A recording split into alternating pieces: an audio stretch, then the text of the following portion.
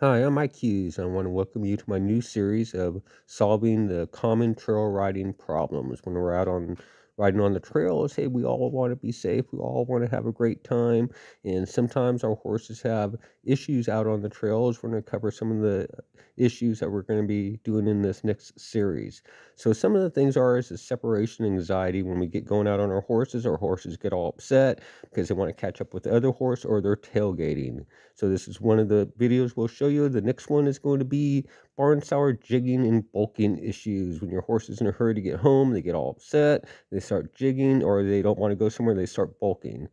Uh, spooking is another big one out on the trails. When we go out on trails, our horse is always looking behind every tree and every rock, uh, like going on a witch hunt. That needs to be solved as well. Along with uh, horses that don't know how to lead or follow, or bolting issues is big. The horses get nervous, scared, and they start bolting on us is a biggie.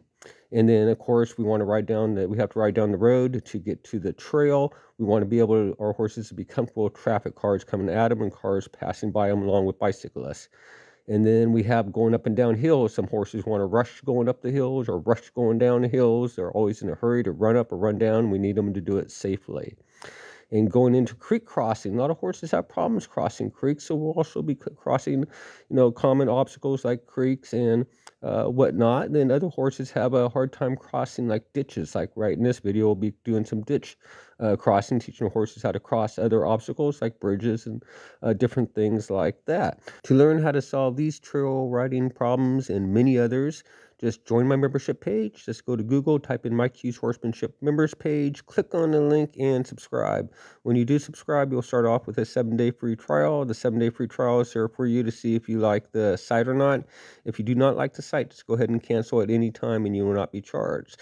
So we hope to see you there. We want you to be safe on your horses. That's what these uh, horse training videos are all about, step by step uh, videos to help you be safe with your horse out on the trails, in the arenas, or wherever you want to ride. So we're hoping you're having a great day and enjoy your horses. Thank you.